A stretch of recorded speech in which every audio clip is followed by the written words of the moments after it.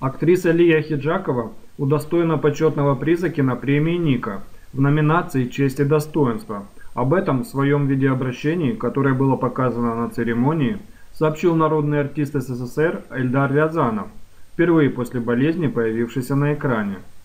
«У меня огромная радость, что премия вручается актрисе, с которой я долго работал, с которой мы не разлей вода», – сказал Рязанов. «Эта женщина отважная в творчестве, беззаветная в работе. Это Лия Хиджакова.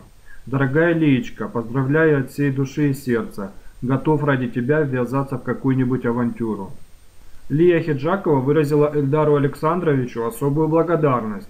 «Он мне дал мою тему, мою территорию. Я старалась как могла», – пояснила она. Актриса также выразила восхищение всеми номинантами этого года.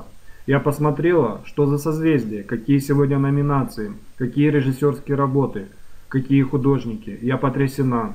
Что-то, видимо, случилось, что такие мощные таланты сумели высказаться. И очень вовремя, отметила Хиджакова. Она добавила, что по ее мнению наступает такое время, когда мы будем говорить метафорами, скрывать свои мысли, снимать вторые и третьи планы, чтобы как-то прорваться к зрителю.